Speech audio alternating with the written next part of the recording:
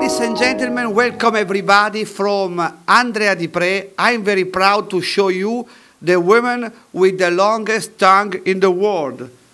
Her name is Melania, the longest tongue in the world for a woman. Extraordinary.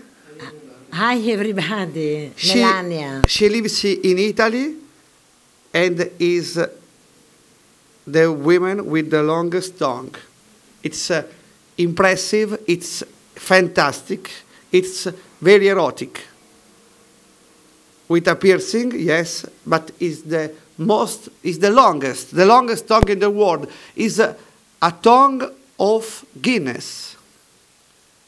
And I'm Andrea Diprè. I'm very happy to be here in her uh, uh, in her home in Italy to show these uh, prodigios.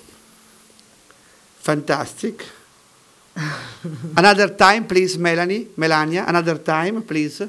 Ciao da Melania. Uh, for uh, all the people, show your tongue for the last time in order to win the record. The longest tongue in the world.